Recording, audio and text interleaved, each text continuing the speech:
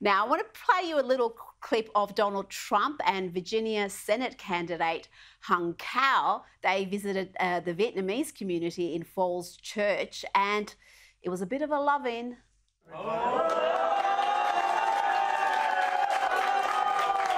Vietnamese community loves me and I love them. You know?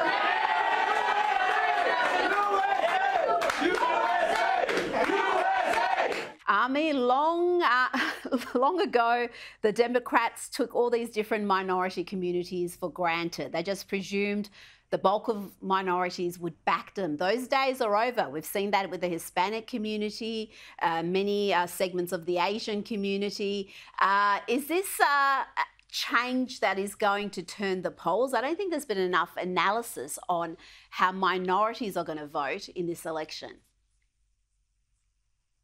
It's interesting. Uh, well, the, uh, a second on the Vietnamese community specifically before I talk about the Asian community writ large.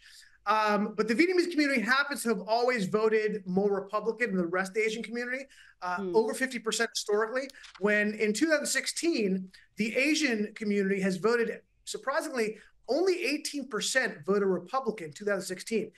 Now, in only eight years, sorry, in only in only four years, in 2020, right, four years later, this might have been the most massive turnaround in the history of minorities. So there's been a significant change in the Asian community. I think it's going to make a a massive difference.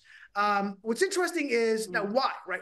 Why are we seeing this change? Now, I think there are very specific reasons. First of all, I think they happen to be uh, in California, in New York, where there's extremely high crime rates, particularly the Bay Area. They've noticed, they've seen where the crime is coming from, who is abetting the crime, and who is making excuses for the crime, i.e., the left.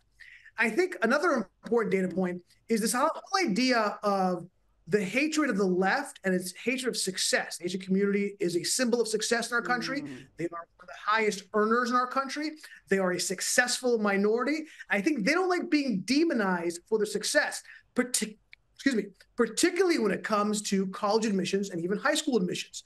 Right, there has been a concerted effort to demote Asians from successful from successful placement in in uh, successful high schools, elementary schools, and certainly colleges. Famously, uh, Harvard has specifically tried yeah. to stop Asians from coming from coming in. They are the only minority with a negative coefficient at Harvard. In other words, the only minority that being a minority has actually harmed them, not helped them outside the Jewish community. And this has not gone unnoticed. Absolutely. And they are damaged. I think the Asian community has learned these DEI policies that are supposed to help minorities actually damage them. As you mentioned with Harvard and some of these Ivy League colleges, uh, for an Asian student to gain admission, they have to do so much better than just about every other demographic uh, Hispanic students, black students, even the white students. They, they are discriminated against that much because they're studious, they study, and they record good results. And of course, you've got to be punished for that.